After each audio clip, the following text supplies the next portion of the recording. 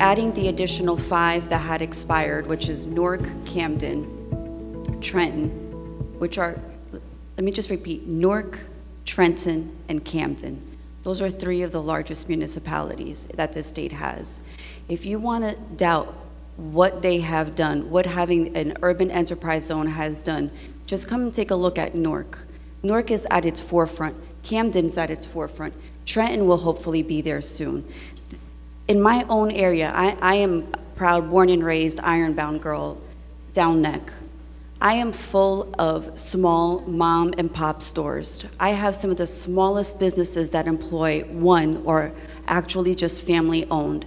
I have businesses that can now compete once again with the Home Depots and with the Lowe's because I have a Continental hardware store, which has been a family owned business for over 30 or 40 years. Um, the additional money that it would only cost would be the 17 million because every single penny that is spent uh, on the sales tax is going to be into the general fund.